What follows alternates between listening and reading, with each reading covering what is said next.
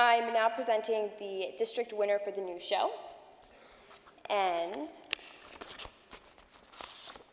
our winners are Megan Swakowski and Vista Skong from Shawnee High School.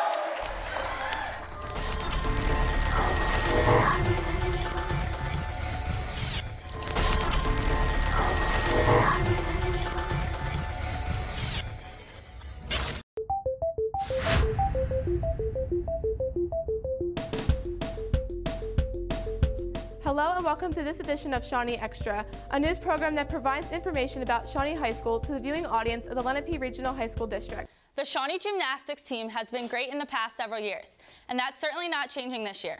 We go out to Joe Romanko to give us the inside scoop on the team. I'm Joe Romanko, reporting on gymnastics for Shawnee TV.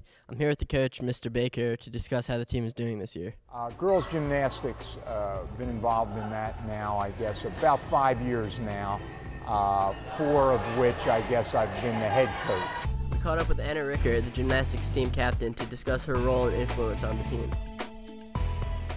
As the captain of the gymnastics team, my role is to motivate the girls and keep them really positive, tell them to work hard, keep them working. Thank you for joining us for this edition of Shawnee Extra. Be sure to join us next time for updates on everything Shawnee High School. From all of us here at Shawnee TV, see you next time. This is the first LDTV award win for Megan Swakowski and the second for Vince Tastione.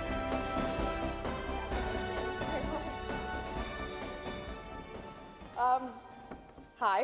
Um, I just wanted to explain real fast like what Shawnee Extra is. It's really a whole bunch of producers from Shawnee TV coming together and they all make their own separate little Shawnee Extras like you've seen before and it's really all the producers coming together.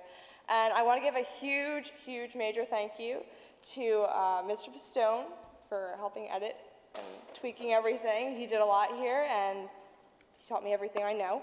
And also Vince Tassione, thank you very much for helping. Yeah. Uh, all the Shawnee TV crew, like they're like brothers and sisters to me, honestly. They help me out so much. And thanks, mom and dad. um, yeah, that's it. Thank you so much. And thanks.